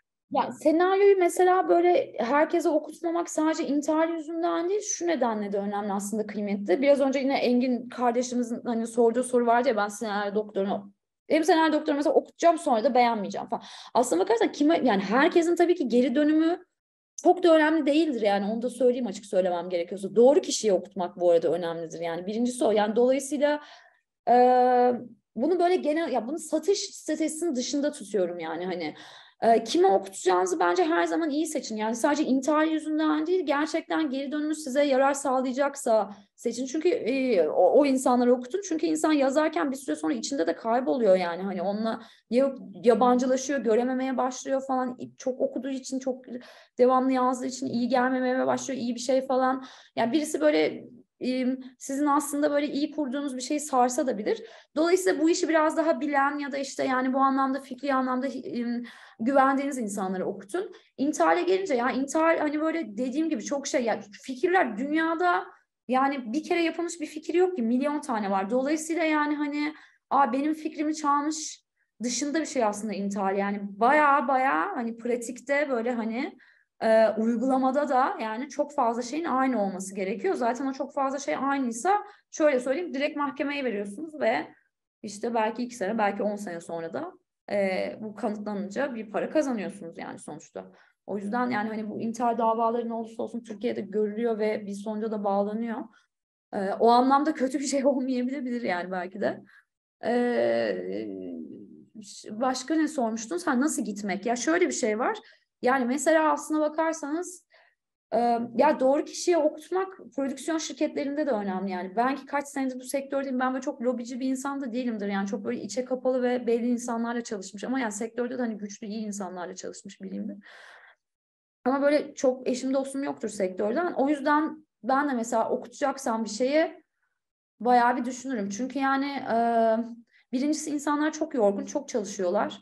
Dolayısıyla sizin verdiğiniz şeyi düzgün bir anda düzgün bir şekilde okuyacağına güvendiğiniz birine gitmeli. Bir prodüksiyon şirketinde birine gidiyor dahi olsa.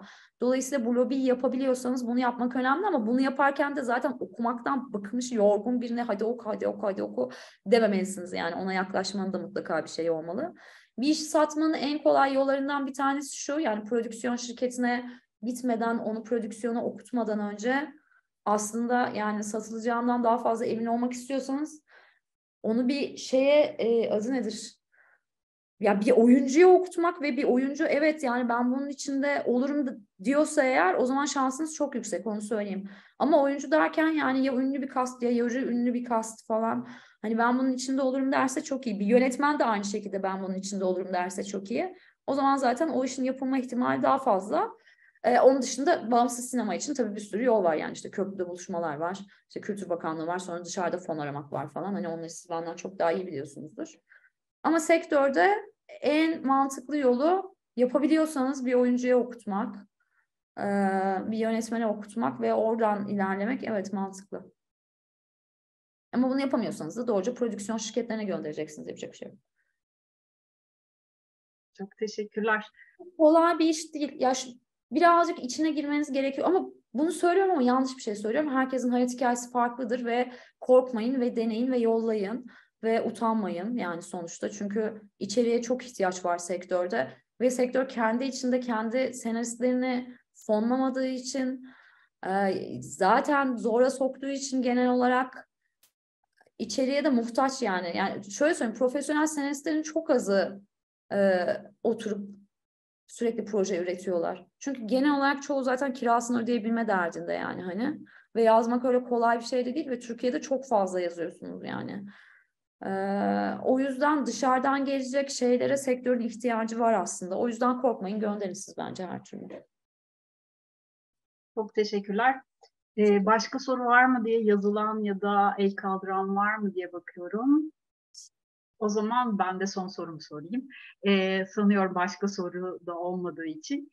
Bir de proje projelerinizi konuşalım. Üzerinize, üzerine çalıştığınız projeler mutlaka vardır. Onlardan biraz bahseder misiniz? Bir de bundan sonrası için planlarınız neler? Şunu mutlaka yazmak istiyorum, bunu mutlaka çekmek istiyorum dediğiniz projeler var mı? Yok. ya şöyle sektörde çok Olsa da söylemem diyebilirim. Öyle değil. Ya şöyle söyleyeyim. Ya, hani uzun süre sektörde kaldıktan sonra gerçekten amaçladığınız şey şu oluyor yani hani artık bundan sonra verdiğim emeğin karşılığını alacağım yani bu atıyorum mesela şu oluyor mesela siz benden bir biyografi istediniz ve ben yaptığım şeylerin üçte birini gönderebildim. Hatta onların da bir kısmının adını geçiremedim. Mesela bundan sonraki artık yani şeyim hedefim bayağıdır öyle. Ee, yani ben bir şey yazdıysam onun içinde bir şekilde ghost kalmak istemiyorum ya da onun danışmanıysam ghost kalmak istemiyorum. Eğer öyleyse onu yapacağıma başka bir işten para kazanmak istiyorum mesela atıyorum gibi. Ya da işte şey e, ben şunu hedefliyorum aslına bakarsanız böyle e, benim sektör için hedeflerim var. Kendi emekçisi için daha yaşanır bir hayat, daha insani bir hayat sunan bir sektör ee, ve kendi emekçisine yatırım yapan bir sektör istiyorum. Bunu sadece kendim için istemiyorum. Yani bunu Netflix setinde ölen işçi için de istiyorum. Anlatabiliyor muyum yani? Hani bunu böyle sadece senestler için değil, bütüncül olarak aslında e, daha hakkani bir bir sektör. Benim şeyim bu yani. Yoksa yazmakla ilgili heyecanlandım. Tabii ki bir sürü bir şey olacaktır. Ben her şeyi yazmaya ilgili de heyecanlanıyorum. Çünkü zaten şey işin kendisini seviyorum ve her şeyi ya hiç size göre olmayan bir işte bile e, sizin geldiğiniz şeye yani hani e, sosyokültürel sınıfa ya da işte sizin kişiliğinize çok ters bir işte bile mutlaka keyifle yazacağınız bir şey buluyorsunuz. Çünkü sürekli şu cevabın peşinden koşuyorsunuz. Seyirci bunu neden izler? Zaten aslına bakarsanız işin en keyifli kısmı bence o gerçekten dileklerinizi paylaşmamak mümkün değil. Ee, sanıyorum burada genç arkadaşlarımız da var, ee, sinema okuyan arkadaşlarımız da var. Muhtemelen bunu hep birlikte yapacaksak, böyle bir şey olacaksa da hep birlikte hepimizin gayretiyle olacak. Böyle güç, evet. güçlerimizi, enerjimizi bu yönde birleştirerek olacak. E, o yüzden bir an önce o günleri hep birlikte deneyimlemeyi diliyoruz elbette. E, ve bu akşamki bu keyifli sohbet için size çok teşekkür ed- ediyoruz. E, deneyimlerinizi bizimle paylaştığınız için çok kıymetliydi. Çok teşekkür ederiz. E, ben teşekkür ederim. E, çok hızlı ve çok konuştum. Özür dilerim kusura bakmayın. Burada çok yakın bir arkadaşım gördüm bu arada Fahri. Ona da selamlarımı iletmek istiyorum. Şimdi gördüm. Teşekkür ederim Fahri geldiğin için. Çok sevgiler hepinize. Çok teşekkür ederim. Çok teşekkürler. Bir, kısacık zamanımız da kısıtlıydı. Birçok şey sığdırmış olduk bu sayede. Çok keyifli oldu. Çok teşekkür ederiz. Ben bu akşam pardon. Bu akşam bizimle paylaşan tüm katılımcılara da teşekkürlerimizi iletiyorum. Ee, bir küçük hatırlatmayla noktalayalım. Sonraki film geliştirme söyleşisi 30 Nisan'da aynı saatte Eda Arısoy moderatörlüğünde yapımcı Zeynep Atakan'la yapım desteği üzerine olacak. Orada da hep birlikte olmayı diliyoruz. Ee, görüşmek üzere, iyi akşamlar diliyorum. Ben de son bir not düşmek istiyorum. Aslında yani işimi nasıl satarım, işte nasıl fon bulurum vesaireyle ilgili asıl aslında cevapları alabileceğiniz en büyük insan bu arada Türkiye'de zaten Zeynep Hanım yani dolayısıyla onu kaçırmamanızı tavsiye ederim yani e, projesini satmak ya da işte onu fonlamakla ilgili soruları olan herkes katılsın hatta ben de katılacağım. Teşekkür ediyorum. Çok teşekkürler. İyi akşamlar herkese. Görüşürüz.